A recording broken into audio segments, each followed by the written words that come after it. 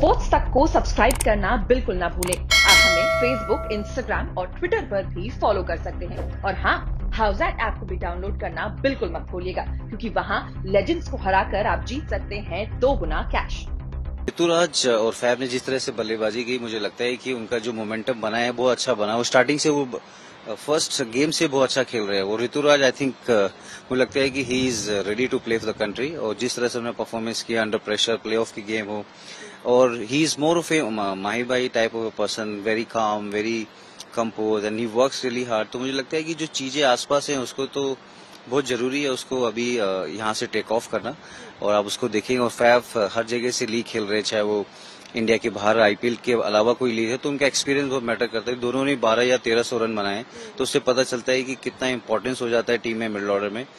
Sports तक को subscribe करना बिल्कुल ना भूलें। आप हमें फेसबुक इंस्टाग्राम और ट्विटर पर भी फॉलो कर सकते हैं। और हाँ हाउसैट ऐप को भी डाउनलोड करना बिल्कुल मत भूलिएगा, क्योंकि वहाँ लेजेंड्स को हराकर आप जीत सकते हैं दो गुना कैश